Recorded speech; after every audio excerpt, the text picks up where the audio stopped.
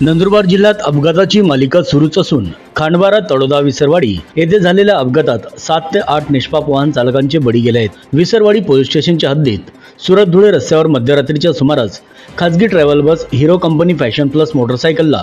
धडक दिल्याने दोन युवक जागीच ठार तर एक युवक जखमी अवस्थेत रुग्णालयात दाखल करण्यात आला आहे विसरवाडी पोलिसांनी दिलेल्या माहितीनुसार सुरत धुळे रस्त्यावर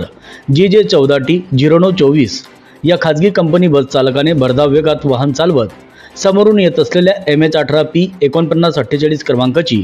मोटरसायकलला धडक दिल्याने मोटरसायकलवर बसलेले दोन युवक जागीच ठार झाले. तर एक गंभीर जखमी असल्याचे म्हटले असून सदर खाजगी बस चालकाविरोधात गुन्हा दाखल करण्यात आला आहे